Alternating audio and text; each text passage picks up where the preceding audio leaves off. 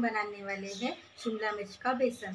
शिमला मिर्च का बेसन बनाने के लिए हमें चाहिए शिमला मिर्च ढाई सौ ग्राम, एक कप बेसन, नमक, राई, लाल मिर्च पाउडर, हल्दी पाउडर, जीरा, धनिया पाउडर, आमचूर पाउडर, एक प्याज, हिंग, धनिया, कड़ी पत्ते, तीन चार लहसुन की कलियाँ, लाल सूखी मिर्च, दो तीन दो तीन लाल सूखी मिर्च और ये हरी मिर्च को हमने दो टुकड़ों में काट लिया। तो चलिए शिमला मिर्च का बेसन बनाना स्टार्ट करते हैं।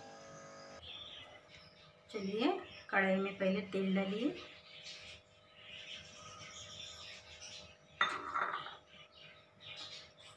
अब हमें डालना है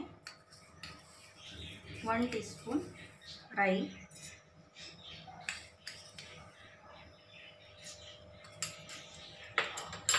राई को अच्छा भूनने दीजिए।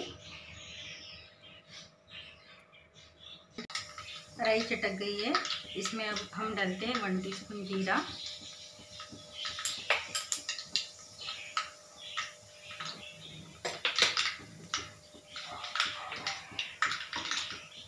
प्याज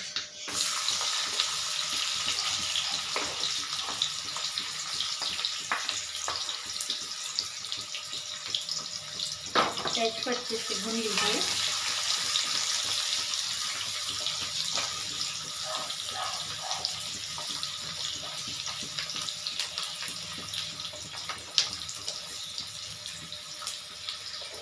थोड़ी प्याज नरम हो गई तो इसमें डालिए लहसुन, हरी मिर्च।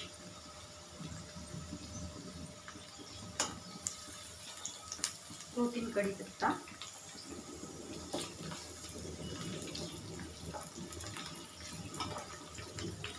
सूखी लाल मिर्च।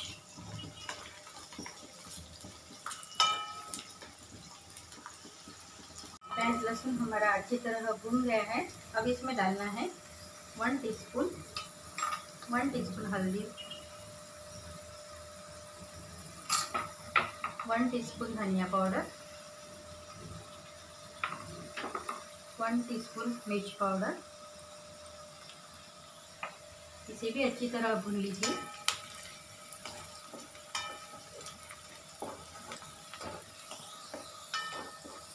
हाफ़ टी स्पून हींग।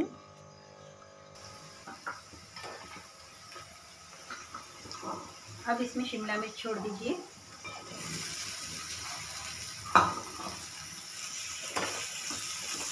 इसे शिमला मिर्च को सिर्फ़ दो तीन मिनट के लिए भुनना है। ये बहुत जल्दी नरम हो जाती है। अच्छे से भून लीजिए। अब इसमें हम डालेंगे थोड़ा आमचूर पाउडर।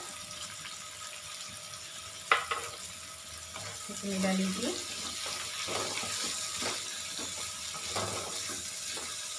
आमचूर पाउडर से बहुत अच्छा खट्टापन आता है इसमें।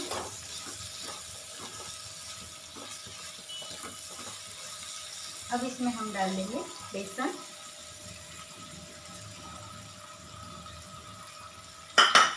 बेसन को अच्छी तरह से मिला लीजिए।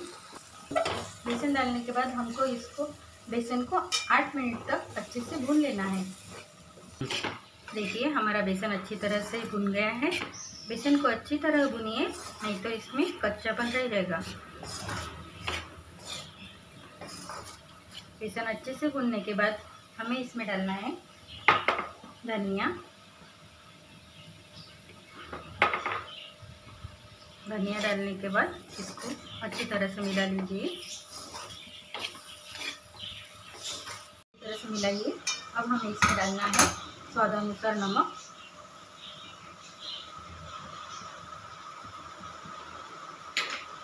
ये स्टीम पे ही पक जाता है।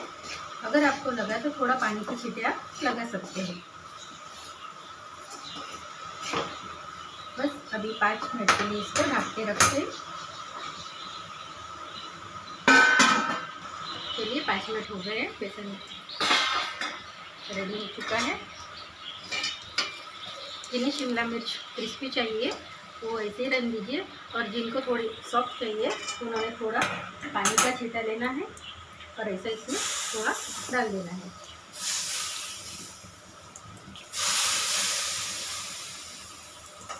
पाँच मिनट के लिए और ढककर रख देना है। देखिए, हमारा शिमला मिर्च का बेसन तैयार हो चुका है। अच्छे से पक चुका है। एक तड़का पैन लीजिए। थ्री टीस्पून ऑयल डालिए। इसमें हींग डाल दीजिए one teaspoon. One one teaspoon जीरा। दो खड़ी मिर्च।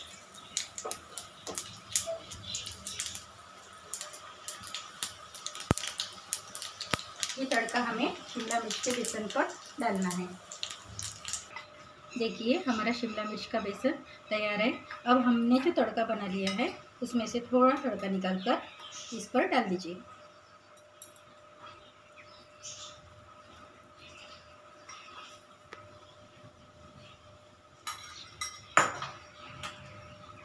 थोड़ा हरा धनिया